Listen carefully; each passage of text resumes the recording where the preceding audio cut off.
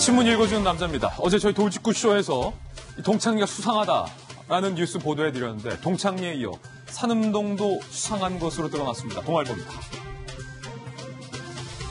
북한이 수상해요. 미사일 발사장인 동창리에 포착된 재건 움직임 그리고 미사일을 생산하는 생산 시설, 생산 공장 산음동도 바쁘게 움직이고 있다는 거예요.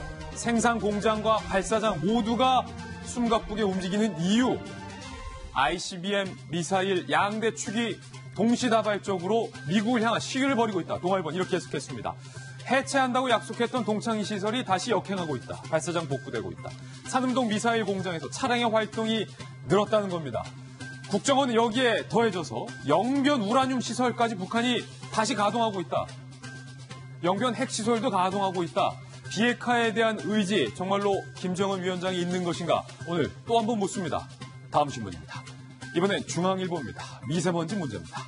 문재인 대통령이 재차 미세먼지에 대한 발언을 꺼내 들었습니다. 이번엔 중국과 인공강우를 함께 실시할 것을 추진하라라고 지시를 했습니다. 그리고 미세먼지를 위한 추가 예산, 추경까지 지시를 했습니다.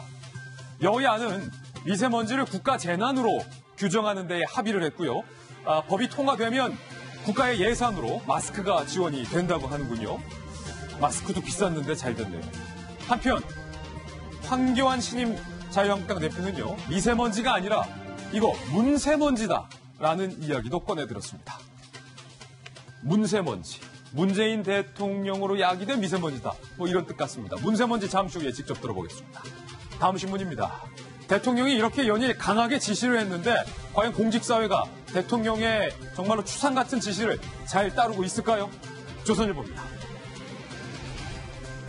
천만의 말씀이란데 공무원도 안 지키는 미세먼지 이부제 사진 한번 크게 보시죠. 공무원도 안 지킨다는 거예요. 지금 이곳 공무원들이 몰려있는 행정타운입니다. 행정타운에 이부제가 시행됐는데 차량 이부제 때문에 행정타운 주차장에 들어가지 못하는 공무원들이 주차장 바깥에 이렇게 불법 주차를 뺑 여기까지 있어요. 돌아갔습니다. 이게 무슨 이부제입니까? 공무원들도 지키지 않는 차량 이부제, 대통령의 영이 제대로 서고 있는가? 미세먼지와 관련해서 저는 그렇지 않다라고 보입니다. 과연 미세먼지 문제 잡을 수 있는가? 라는 의문, 우려 다시 한번 던집니다. 다음 신문입니다. 이번에 경향신문입니다. 그런가 하면 어제 이명박 전 대통령이 구속 349일 만에 석방이 됐습니다.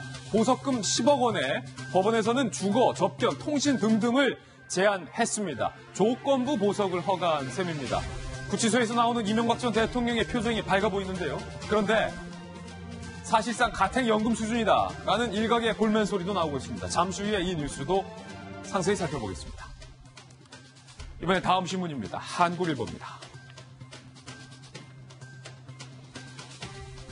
재보선 이야기도 해야겠습니다. 한 달 앞으로 다가온 재보선, 그 중에서 창원 성산 이 지역구에 주목이 되고 있습니다. 여야가 창원 성산으로 달려갔다. 그 중에서 바른미래당의 손학규 대표가 창원 성산에서 한 달 살이를 자처했습니다. 한 달간 선거 때까지 이곳에서 당대표가 살겠다는 겁니다.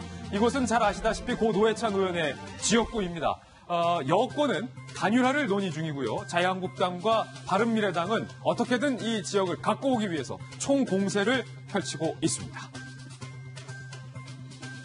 다음 신문입니다. 이번에 한겨레 신문입니다. 한겨레 신문 일면 기사인데요. 의미 있는 기사이기 때문에 오늘 선정을 해봤습니다. 인공혈관이 바닥이 났다고 해요. 심장병 아이들이 쓰러지고 있다고 합니다. 이 사진에 저희가 모자이크를 쳤는데 이 아동도 심장병을 앓고 있는 아동인데 인공혈관이 바닥나서 현재 수술을 못하고 계속해서 인공혈관이 구해지기만을 기다리고 있는 아이입니다. 이유가 뭘까요? 소아용 인공혈관 독점 업체, 이 고어라는 독점 업체가 대한민국의 의료 수가가 낮다고 한국에서 아예 철수를 한 겁니다. 병원들마다 인공혈관 재고가 떨어져서 이 아이들이 현재 수술을 못하고 발만 동동 뒤늦게 이 사실을 한 복지부가 원하는 가격 다 주겠다라고 했지만 이 독점 업체는 무응답을 하고 있습니다. 복지부가 이거 미리 예견하고 인공혈관 확보해 넣어야 하는 것 아니냐? 복지부가 너무 복지부동했다라는 비판이 쏟아지고 있습니다. 아이들만 피해를 보는 거예요. 지금까지 신문 읽어주는 남자였습니다.